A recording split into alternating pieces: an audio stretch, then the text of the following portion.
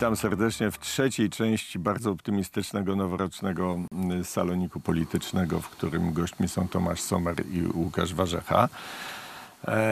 Nie wspomnieliśmy jeszcze o planach federalizacji Europy, które w tych wszystkich uwarunkowaniach, przy których mówimy, jest no, twardym kierunkiem, e, w jakim zmierza przynajmniej ta czapa cała Unii Europejskiej. Ja muszę powiedzieć, że podziwiam jakoś ten, ten, ten, tę myśl unijną, że w momencie, kiedy nie ma na to żadnej zgody w, żadnym z unijnych krajów, kiedy, kiedy są te wszystkie problemy, o których mówiliśmy, rozmaite, rozsadzającą Eu- Europę, właściwie takie, takie ciało jak Komisja Europejska dzięki mocy wyroków TSUE będzie w stanie e, narzucić swoją wolę wszystkim państwom europejskim i to się nie skończy jakąś katastrofą, przy której była Jugosławia i jej rozpad to jest, to jest pikuś. Nie wiem skąd ta wiara jest czerpana. Ale to, ja, to, to jest proste. Znowu wróćmy, wróćmy tych lat 80. Przecież przez całe lata 80. widać było, że się sypie ta gospodarka w PRL-u, ale mieliśmy pierwszy etap reformy gospodarczej, drugi etap reformy gospodarczej, trzeci komercjalizację. Mieliśmy wcześniej jeszcze IRCHę, bo generał Jaruzelski wpadł na pomysł, że skoro jest tak źle, no to weźmy ten lud pracujący, wyślijmy do tych Ale zakładów trzeba pracy. wytłumaczyć widzom, bo są A, ta inspekcja, inspekcja robotniczo-chłopska. I ona miała Ale pójść do prezesa były- Zjednoczenia i mu powiedzieć, jak ma produkować samochody, żeby się opłacało. Tak, I no. gdzie uniknąć marnotrawstwa, a zwłaszcza tępić spekulantów, co wcześniej robiły wojskowe grupy operacyjne. Też był, Też tak, wojskowe. Posłane w teren. Rzeczywiście dużo takich tutaj i ze spekulacją walczono, bardzo ten, ale umówmy się, to nie jest dobre porównanie. Generał Jaruzelski miał wojsko, a jeszcze panowało przekonanie, że w razie czego jest 40 dywizji za Bugiem, które w pierwszym rzucie są, zresztą one były i tutaj.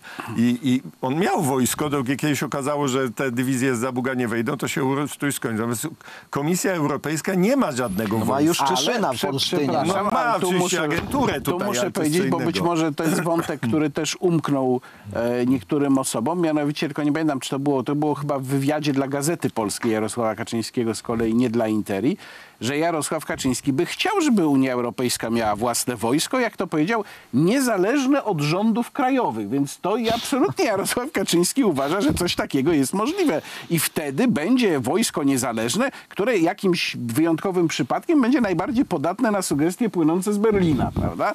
No ale już zostawmy Nie, będzie złośliwości. niezależna od rządów krajowych, będzie w, zależna od Unii Europejskiej, która jest y, niezależna przecież od rządów, od tak. rządów y, krajowych, z tym, że może od tego w Berlinie jest najmniej nie, Ale zwracam uwagę, bo, bo to, no, ale- to rozumowanie dotyczące CUE, Ale to przepraszam trzeba... to jest idea Radosława Sikorskiego. Legion Europejski. On chce tworzyć Legion Europejski. No, Jak w widać, tym Legionie... wielkie głowy zgadzają się w pewnych sprawach. Natomiast, Wielkie umysły. Natomiast w sprawie, Nie, no, w że sprawie przypomniało mi się, że CUE, zawsze tak mówiono, że mm, nazwano Jarosława Kaczyńskiego e, naczelnikiem, bo ma coś wspólnego z Piłsudskim, mianowicie, że Sikorskiego nie lubi. A tu się okazuje, że idea Sikorskiego...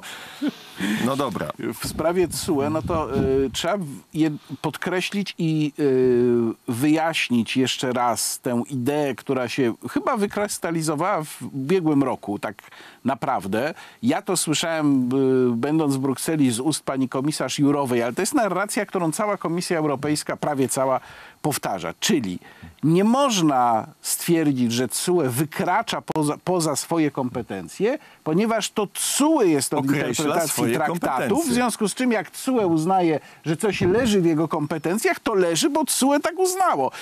No Jasna i sprawa. genialna zasada. No. Genialna. No, no tak, tak. Tylko, że jest jeszcze to, co ja często cytuję Gerwazego z pana Tadeusza, wygraj w polu, a wygrasz i w sądzie. I jest kwestia egzekucji, ponieważ oczywiście TSUE może sobie przyznać wszelkie kompetencje, tak jak Sąd Rejonowy w Olsztynie u nas sobie przyznał kompetencje na przykład, że obala wyroki Trybunału Konstytucyjnego i decyzje Sądu Najwyższego.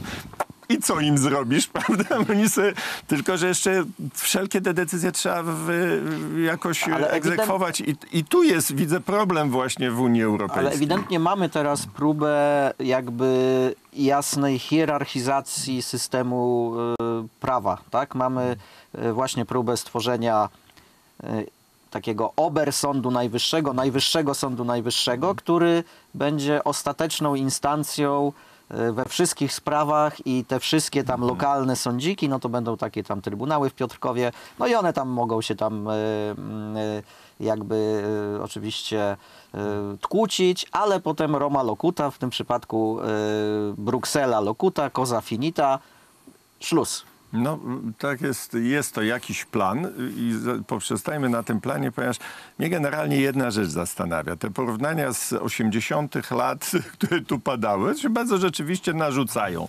I z tą, jak tam w, ile razy słyszę, że lekarstwem na wszystkie problemy Unii Europejskiej jest więcej integracji, pogłębień, więcej Unii Europejskiej, to po prostu jakbym słyszał towarzysza Susłowa, który zawsze powtarzał, że więcej komunizmu trzeba, więcej socjalizmu i te, te wszystkie problemy obozu socjalistycznego się w ten sposób przełamie. Tylko y, wtedy to się skończyło, że jednak ktoś wpadł na pomysł, że a może by tak wolnego rynku trochę więcej, może by tak trochę wolności gospodarczej, może takie biurokracje.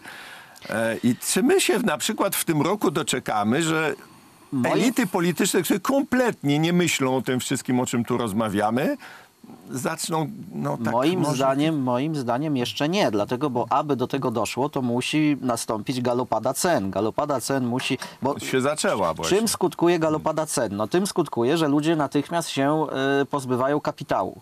Jak się pozbywają kapitału, no to znaczy muszą go gdzieś ulokować, ale al, al, y, lokują go w panice, czyli źle. A jeżeli go lokują źle, to to jest kolejny To czynnik, który się y, przy, jakby przyczynia do tego, że gospodarka działa gorzej, tak? I w pewnym momencie musi dojść do takiego stanu rzeczy.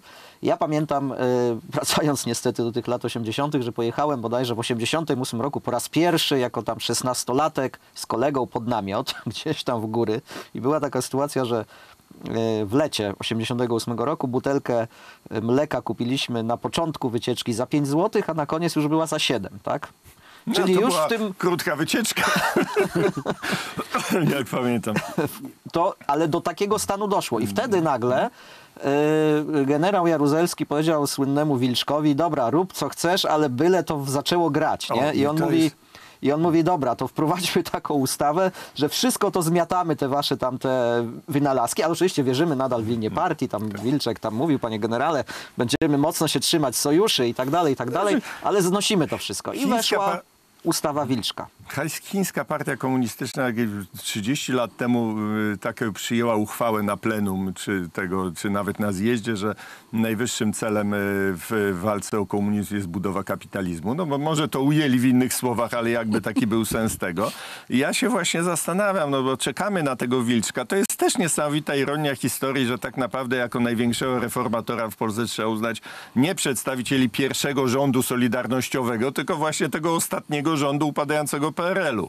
Potem już od czasu Mazowieckiego i Bieleckiego wszyscy tylko psuli te A ustawy najbardziej Wilczka. liberalnym rządem w historii III RP był rząd SLD z Leszka Millera. No głupio to powiedzieć, ale, ale, ale e, tak, co, co nie znaczy bynajmniej, żebyśmy tutaj stwierdzili, że jakby towarzysz Czarzasty z, tymi z tą resztką tych, co mu zostali, co nie odeszli do PO jako PPS-owcy, co też jest przepiękne, uważam. No ale właściwie jak partia komunistyczna się przekształciła w partię socjaldemokratyczną, a nigdy nie mieli komuniści większych wrogów niż socjaldemokraci, to to, że teraz ci uciekinierzy od Czarzastego się nagle nazwali PPS-em, to też ma sens. W każdym razie to nie znaczy, że uważamy, że towarzysz Czarzasty by wrócił do władzy, to by jakiś wilczek Ale się towarzysz, znalazł. E, towarzysz Czarzasty to jest przecież e, krupny kapitalist, można powiedzieć. Przecież on jest e, udziałowcem No tak. wysokoprocentowym wydawnictwa Muza, wszyscy o tym wiedzą i tam prowadzi to z dużym sukcesem. Chyba największe rozczarowanie tego 30-lecia to było. Nie, to nie było największe, bo myślę o tym, że Wszyscy myśleli, że kapitalizm to jest ustrój wspierany przez kapitalistów, a to nie, bynajmniej. Im większy kapitalista, tym bardziej mu socjalizm pasuje. Ale to, co, o czym tu mówiliśmy, no cóż, była taka wielka, jak to ktoś powiedział, jedyna narracja w Polsce przez ostatnie 30 lat, że było tak jak na Zachodzie. No i ja myślę, że to jest chyba już dobry moment, żeby y, może stwierdzić, że niekoniecznie chcemy, żeby tak było, zwłaszcza, że tym zachodem jest dla nas Unia Europejska. No ale może w tym roku dojdziemy do tego wniosku, czego sobie i Państwu i obecnym w studio życzę. Y, Tomasz Sommer, Łukasz Warzecha. Dziękuję, bardzo. Wszystkiego serdecznie. najlepszego w nowym roku. Mimo No wszystko. żeby, żeby ten wilczek gdzieś tam wyszedł, nie wiadomo, z lasu No, czy skądś. To się chyba jeszcze może nie udać, ale, ale zobaczymy. Życzymy Państwu w KMR-ze wszystkiego dobrego.